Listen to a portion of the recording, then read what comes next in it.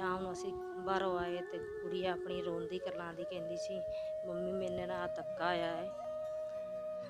ਸਾਡੇ ਤੇ ਬੜਾ ਧਮਕੀਆਂ ਦਿੰਦਾ ਸੀ ਜਿਹੜਾ ਕੁਝ ਮੇਰੇ ਨਾਲ ਤੁਸੀਂ ਕਰਨਾ ਦੇ ਕਰ ਲਓ ਸਾਡੇ ਘਰ ਤਿੰਨ ਮੁੰਡੇ ਆਏ ਸੀ। ਦੋ ਵਾਰ ਰਖਵਾਲੀ ਤੇ ਖੜੇ ਰਹੇ ਤੇ ਇੱਕ ਨੇ ਅੰਦਰ ਜ਼ਬਰਦਸਤੀ ਧੱਕਾ ਕੀਤਾ। ਘਰੇ ਸਾਡੇ ਕੋਈ ਨਹੀਂ ਹੈਗਾ ਸੀ। ਰੇਪ ਕੇ ਮਾਮਲੇ दिन ब दिन कम होने की बजाय बढ़ते ही जा रहे हैं। ऐसा ही एक मामला पंजाब के जिला फिरोजपुर के जल्लो के गाँव से सामने आया है। पुलिस ने उनके खिलाफ घर में अकेली लड़की से कथित तौर पर दुष्कर्म करने का मामला दर्ज किया है। जल्लो गाँव में रहने वाले एक गरीब परिवार ने अपनी बेटी साथ हुए रेप की दुखद कहानी बताते हुए कहा कि वो गरीब परिवार से हैं और दिहाड़ी मजदूरी करने के लिए जाते हैं। उन्हें कहा कि उनकी बेटी घर पर अकेली थी और गाँव टुल्लेवाड़ा के तीन युवक आए। उनमें से एक जसपाल सिंह, उसकी बेटी को जबरम कमरे में ले गया।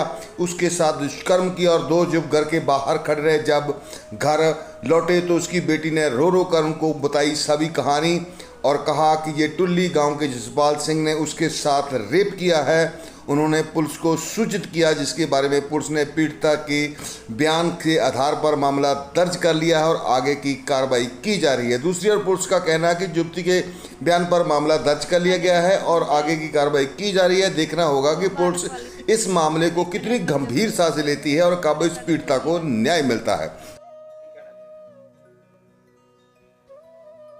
ਸਾਡੇ ਘਰੇ ਤਿੰਨ ਮੁੰਡੇ ਆਏ ਸੀ ਦੋ ਬਾਰ ਰਖਵਾਲੀ ਤੇ ਖੜੇ ਰਹੇ ਤੇ ਇੱਕ ਨੇ ਅੰਦਰ ਜ਼ਬਰਦਸਤੀ ਧੱਕਾ ਕੀਤਾ। ਘਰੇ ਸਾਡੇ ਕੋਈ ਨਹੀਂ ਹੈਗਾ ਸੀ। ਫਿਰ ਬਾਹਰ ਖੇਤੀ ਕਰਨ ਗਏ ਸੀ ਮੰਮੀ ਡੈਡੀ। ਸ਼ਾਮੀ 7:30 ਵਜੇ ਦੀ ਗੱਲ ਆ।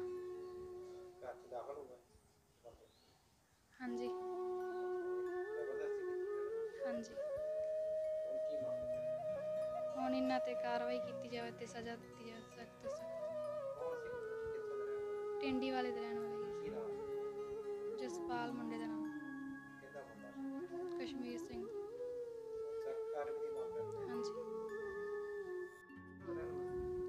ਅਸੀਂ ਜੱਲੋ ਕੇ ਦੇ ਰਹਿਣ ਵਾਲੇ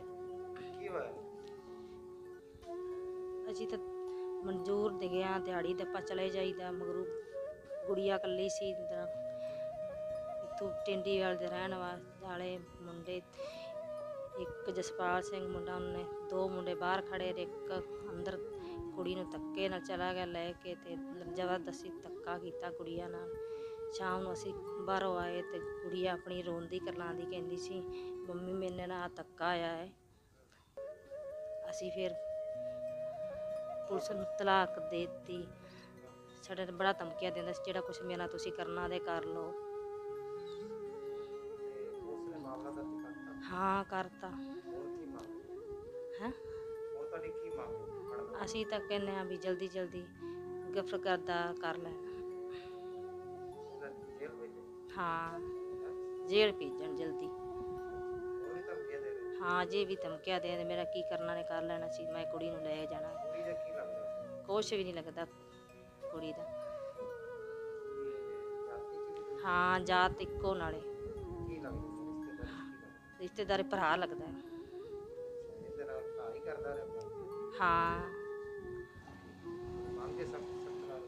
ਹੈ? ਸਖਤ ਕਾਰਵਾਈ ਦੀ ਮੰਗ ਹਾਂ ਸ- ਹਾਂ ਸਖਤ ਪਤਾ ਰਹੇ ਜਲਦੀ ਜਲਦੀ ਫੜੇ ਜਾਣ।